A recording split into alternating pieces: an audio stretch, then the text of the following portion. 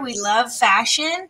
And this new uh, paradigm, this new future comes nearer to us. It's called the Digital Fashion Online Conference. And it really is bringing together both the fashion and the technology side because I believe we have to get together to design the future.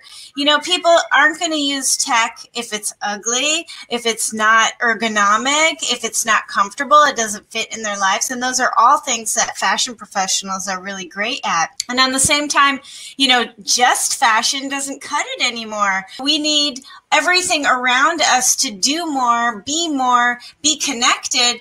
So why? Because we want to be able to have more time for ourselves, more time for our families. And I believe that when, you know, we have smart homes, better equipment, smart clothing, that all of these things are going to play together to remove the friction that we have right now in life. So I'm super excited for the future.